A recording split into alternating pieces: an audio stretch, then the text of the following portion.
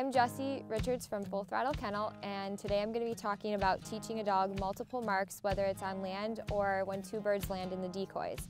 So the first part is after your dog's been steadied, you're going to throw him a mark, have him pick it up, hoss,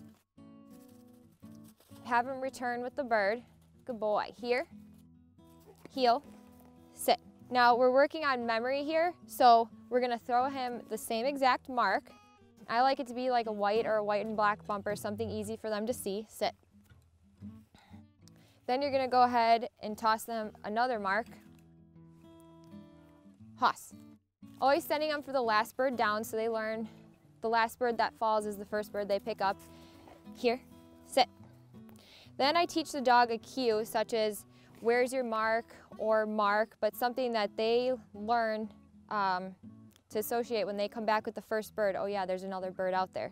The other thing important with this drill is making sure your dog is lined up. So I don't want to have Haas lined up this way as I'm trying to send him for a bird over here. So lining a dog up is going to help him take a straight line to the bird, whether it's on land or in water.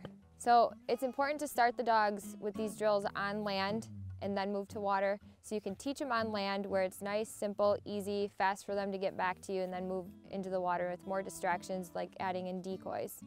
For more helpful tips, you can visit fullthrottlekennel.com.